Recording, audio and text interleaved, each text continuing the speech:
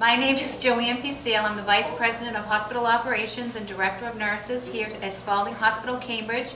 And I'm thrilled to introduce you to Ben, newest employee here at Spaulding Hospital, Cambridge. He's a Xenex robot who we purchased to help us in our continued fight against hospital-acquired infections. And we're here at Spaulding Rehabilitation Hospital in Cambridge, and it's the first rehabilitation hospital in the country to have a technology like Ben here. And what Ben does is inside this chamber here, there's a light and that flashes, and when that light flashes, it's a, it's a xenon lamp. And when that flashes, it puts out a high energy UV that penetrates cell walls and fuses the DNA of organisms together, stopping them from causing any infection. And so here at Spaulding, where it's going to be used between patients, it's going to be used in staff areas, kind of throughout the facility to just reduce the risk for any patient coming in here